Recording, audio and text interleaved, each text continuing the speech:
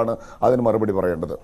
ശരി ശ്രീ ഷാബു പ്രസാദ് അങ്ങനെ ഒരു അഭിപ്രായം താങ്കൾക്കുണ്ടോ? മുസ്ലിം വനിതകൾ ആ സെമിനാർ പട്ടികയിൽ ഇടം നേടിയിട്ടില്ല. ഇതിൽ ചില മുറിവുറുപ്പുകൾ ഉണ്ടായിട്ടുണ്ട്. അത് മാത്രമല്ല ഈ പ്രോഗ്രസീവായുള്ള ചില മുസ്ലിം വനിതാ സംഘടനകളുടെ ഭാഗത്ത് നിന്ന് ചില തുറന്നു പറച്ചിലുകളും ഉണ്ടായിട്ടുണ്ട്. ഉദാഹരണത്തിന് ഡോക്ടർ ഖദീജ മുംതാസ്.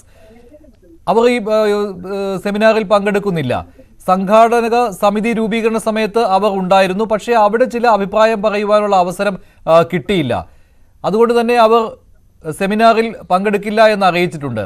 അതിനെ മറ്റൊരു രീതിയിൽ കാണുകയാണെങ്കിൽ ഈ സെമിനാറിൽ പങ്കെടുക്കുന്ന മറ്റ് മുസ്ലിം സംഘടനകൾ അവരുടെ നിർദ്ദേശപ്രകാരം സി പി എം മുസ്ലിം വനിതകളെ ഈ സെമിനാർ വേദിയിൽ നിന്ന് അകറ്റി നിർത്തിയിരിക്കുകയാണ്. അങ്ങനെ ഒരു ആക്ഷേപമുണ്ടോ?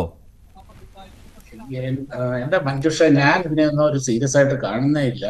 ഒരു കോമാളി നാടകം കാണുന്ന ആ ഒരു വികാരത്തോടു കൂടി തന്നെയാണ് ഇവരുടെ ഈ ചക്കളത്തി പോരാട്ടവും ഈ ഗോഗുവാവിളികളും കാര്യങ്ങളും എല്ലാം കാണുന്നത്. ഞങ്ങൾ ഇവിടൊക്കെ ഉണ്ട് എന്ന് നാട്ടുകാരെ അറിയിക്കാൻ വേണ്ടിയിട്ടുള്ള ഒരു എന്താണ് ഒരു വില കുറഞ്ഞ നാടകം മറ്റൊരു അവസരം അവർക്ക് കിട്ടി. അത് അവർ ഉപയോഗിക്കുന്നു എന്നുള്ളതല്ലാതെ. സത്യത്തിലെ ഈ ഇവരെല്ലാവരും ഈ യൂണിഫോം സിവിൽ കോഡിനെതിരാണ് യൂണിഫോം സിവിൽ കോഡ് നടപ്പാക്കുന്നതിനും എതിരാണ്. ഇവരെല്ലാവരും ഒറ്റക്കെട്ടായിട്ട് അങ്ങോട്ട് ചേർന്ന് നിന്നുകൊണ്ട് എന്താണ് നരേന്ദ്രമോദിയെ വലിച്ച് താഴെയിട്ട് മൂക്കിക്കൂടെ വലിച്ചു കയറ്റാൻ വേണ്ടിയിട്ട് നിൽക്കുന്നവരാണ്. പക്ഷെ ഈ ഒരു കാര്യത്തിൽ പോലും ഒരു പൊതു ഒരു പൊതുവായിട്ടുള്ള ഇവ- ഇവരുടെ എല്ലാം നിലപാട് ഒന്നായിട്ട് പോലും ഇവർക്കൊരു ഒരു വേദിയിൽ ഒരുമിച്ചിരുന്ന് സംസാരിക്കാൻ കഴിയുന്നില്ല. അല്ലെങ്കിൽ ആ ഒരു സാഹചര്യം ഇല്ല എന്ന് പറഞ്ഞു കഴിഞ്ഞാൽ ഇതിനെ പിന്നെ ഒരു വില കുറഞ്ഞ തമാശ നാടകമായിട്ടല്ലാതെ മറ്റെന്താണ് കാണുന്നത്? പിന്നെ സ്ത്രീകളുടെ വിഷയം. ഇന്നലെ ഞാൻ വേറൊരു തമാശ ഉണ്ട് ഒരു ഫോട്ടോ എന്റെ ഇരിപ്പുണ്ട് ഇവിടെ ഈ എന്താണ്? മെൻസ്ട്രൽ ഹൈജീൻ ആർത്തവ ശുചിത്വത്തിനെ പറ്റിയുള്ള ബോധവൽക്കരണ ക്ലാസ്സിൽ സാനിറ്ററി നാപ്കിൻ ഏറ്റുവാങ്ങുന്നത്. രണ്ട് കൊടുക്കുന്നതും വാങ്ങുന്നതും രണ്ട് പുരുഷന്മാരാണ്. സ്ത്രീകളെ മാത്രം ബാധിക്കുന്ന ഒരു വിഷയമാണ്. ഇതുപോലെയുള്ള ഒരു കൂട്ടർ ഓർഗനൈസ് ചെയ്ത പരിപാടിയാണ്. ഇതൊക്കെയാണ് ഈ പ്രബുദ്ധ കേരളത്തിൽ സംഭവിച്ചുകൊണ്ടിരിക്കുന്നത്. ഇതിനൊക്കെ നമ്മൾ ഇതിനൊന്നും ഒരു ഒരു എന്താണ് ഒരു ഒരു തരത്തിലും സീരിയസ് ആയിട്ട് കാണേണ്ട ഒരു വിഷയമേ അല്ല.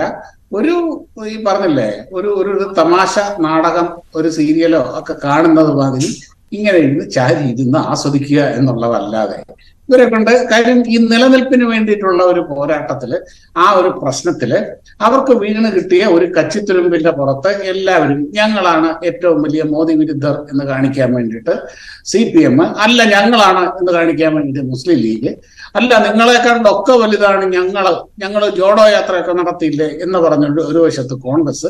ഇങ്ങനെ എല്ലാവരും കൂടെ ഈ മോദി വിരുദ്ധ മത്സരത്തിൽ പരസ്പരം ഇങ്ങനെ മത്സരിച്ചു കൊണ്ടിരിക്കുകയാണ് മത്സരിച്ചുകൊണ്ടിരിക്കുകയാണ്. ഇവർക്ക് എല്ലാവർക്കും കേരളത്തിൽ അവരവരുടേതായ ഒരു അസ്തിത്വം ഉള്ളതുകൊണ്ട് ഇവർക്ക് ആരെയും ഡിപ്പെൻഡ് ചെയ്യാനായിട്ട് പറ്റുകയില്ല ഇനി വേറൊരു കാര്യം. ഇത് ദേശീയ തലത്തിൽ നടപ്പാക്കാനായിട്ടുള്ള ഒരു പദ്ധതിയാണ് ഈ ബില്ലാണ് ഈ യൂണിഫോം സിവിൽ കോഡ് എന്ന് പറയുന്നത്.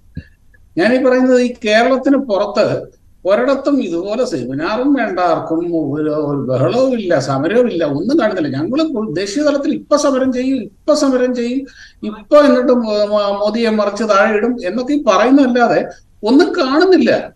ആകപ്പാടെ ഒരു ഒരു ബഹളവും ഒരു എന്തെങ്കിലുമൊക്കെ കേൾക്കുന്നത് കേരളത്തിലാണ്. ഈ കേരളത്തിൽ അതിന്റെ അകത്ത് തന്നെ ബഹുഭൂരിപക്ഷ സമയം ഇവർ പരസ്പരം അങ്ങോട്ടും ഇങ്ങോട്ടും ഒരേ നയം ഒരേ സാധനം. ഇതിന്റെ അകത്ത് ഇത് പാടില്ല വേണ്ട എന്നുള്ള കാര്യത്തിൽ ഇവർക്ക് ആർക്കും ഒരു വ്യത്യാസവും ഇല്ല അങ്ങനെ ഒരു വ്യത്യാസവും ഇല്ലാത്ത ഒരു വിഷയത്തിൽ പരസ്പരം കുറ്റം പറഞ്ഞുകൊണ്ട് ഈ പറയുന്ന രീതിയിൽ ഇങ്ങനെ ഓരോ ഓരോ ഓരോ ഓരോ വിഡ്ഢിവേഷങ്ങൾ കാണുമ്പം ഇരുന്ന് പറഞ്ഞ പോലെ ഒരു തമാശ നാടകം കാണുന്ന മാതിരി ഇരുന്ന് ആസ്വദിക്കുക എന്നുള്ളതല്ലാതെ മറ്റൊന്നും ചെയ്യാനില്ല. കാര്യം ഇത് ഒന്നാമത്തെ കാര്യം ഇത് നൂറ് ശതമാനം ശരി, ഞാൻ താങ്കളിലേക്ക് വരാം. Shri Shabu Prasad. Shri Reji Lukose. Shri Reji Lukose C P M ശരിയാണ്. ആദ്യം ഒരു പൊതു പ്ലാറ്റ്ഫോം രൂപീകരിക്കുന്ന ശ്രമം നടത്തിയത് സി പി എം ആണ്. അതാണല്ലോ നാളത്തെ സെമിനാറിൽ കാണാൻ പോകുന്നത്. അത് മാത്രമല്ല നാളെ ഒരു പ്രമേയം പാസ്സാക്കുന്നു എന്നാണ് ഇപ്പോൾ ശ്രീ എം വി ഗോവിന്ദൻ പറഞ്ഞിട്ടുള്ളത്. ഈ തുടർ സമര പരിപാടികളും ഉണ്ടാകും. ഇത് ദേശീയ തലത്തിലേക്ക് ഈ പ്ലാറ്റ്ഫോം വിപുലീകരിക്കുക എന്നുള്ളത് കൂടിയാണ് സി പി എമ്മിന്റെ ഉദ്ദേശ്യം. അതൊരു എൽ ഡി എഫിലെ ഒരു കൂടിയാലോചന പോലും ഇല്ലാതെയാണ് സി പി എം സംഘടിപ്പിച്ചിരിക്കുന്നത്. അതുകൊണ്ട് തന്നെയാണല്ലോ സി പി ഐ ചില ആക്ഷേപങ്ങൾ. ആക്ഷേപങ്ങൾ എന്നല്ല ഞങ്ങൾ ഒരു എതിർപ്പുണ്ട് എന്ന് കാണിക്കുന്നതിന് വേണ്ടി പ്രധാനപ്പെട്ട നേതാക്കളെ അയക്കാതിരിക്കുന്നതും. ആ നോട്ടീസിൽ പേരുള്ള പന്നിൻ രവീന്ദ്രൻ യോഗത്തിൽ പങ്കെടുക്കില്ല